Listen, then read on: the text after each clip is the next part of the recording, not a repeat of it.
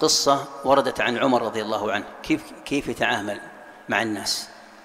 وكيف يتأدب بآداب القرآن ويأخذ بهذه الآية التي هي أم الأخلاق. هناك رجل اسمه الحر بن قيس. كان يدخل على عمر ويحضر مجالس عمر.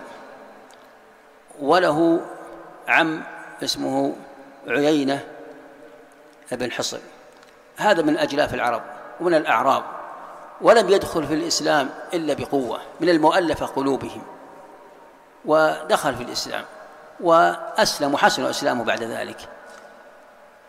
كان يتمنى أن يدخل ويحضر مجالس عمر. فجاء لابن أخيه الحر بن قيس قال لعلك يعني تشفع لي عند عمر أن أحضر مجالس عمر. فجاء هذا ودخل على عمر وقال يعني لعلك تأذن لعمي عيينة بن حصن أن يدخل فأذن له فدخل فبدأ عمر يتكلم والحاضرون يتحدثون فتكلم هذا عيينة بن حصن قال يا عمر والله إنك لا تعطي الجزل ولا تحكم بالعدل.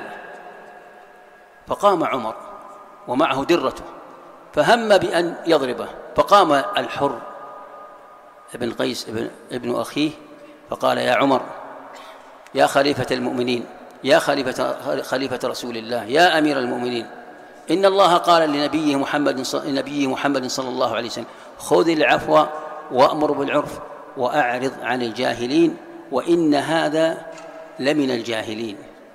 فرجع عمر وجلس مجلسه ولم يتعدى هذه الآية.